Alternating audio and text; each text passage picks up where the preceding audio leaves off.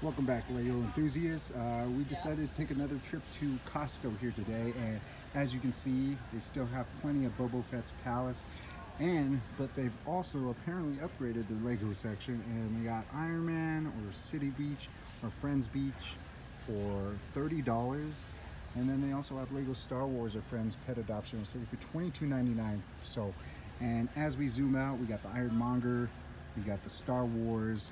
Dark Trooper attack set for 22 bucks. That is a great deal.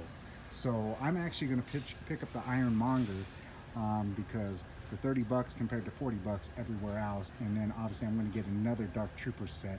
I'd love to grab more, uh, but I have a $50 uh, gift card here. So I'm going to get that. And then we obviously have a lot of other little city sets and other things going on for great deals. And obviously plenty of Boba Fett, like I said palaces here. So if you have a Costco nearby, you might want to check them out.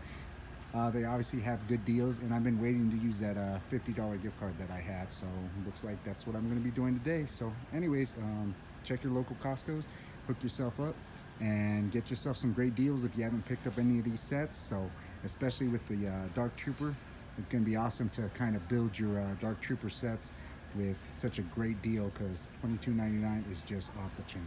All right, guys. Thanks for watching. Talk to you later. Bye.